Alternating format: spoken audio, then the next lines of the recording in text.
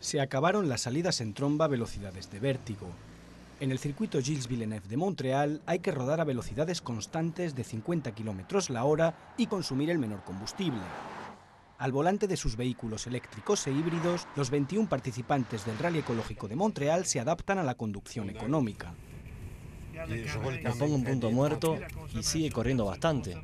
Y el consumo, ¿ves? Dos litros a los 100.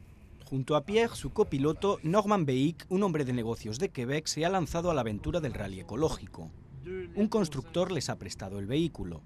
Han estudiado todas las sutilezas de conducción de un auto híbrido. Si no hacemos algo hoy, se acabarán los glaciares. Estamos conduciendo el auto del mañana. Me gusta y además me encantan los rallies. En el paddock del centro de la ciudad, los habitantes de Montreal estudian con interés los vehículos, todos idénticos a modelos de serie. Ahora entiendo cómo funcionan estos vehículos. Para mí son como Lamborghinis. Después de tres días de competición, la victoria ha sido para este equipo de Toronto a bordo de un Toyota Prius. Con 3 litros a los 100 han sido los más regulares. Nuestro equipo ha estado genial.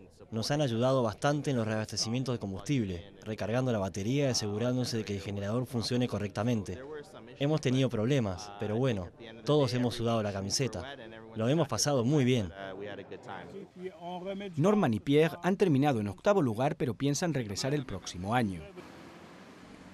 Los ganadores participarán en marzo de 2012 en Mónaco en la prueba más prestigiosa de esta Copa del Mundo de las Energías Alternativas.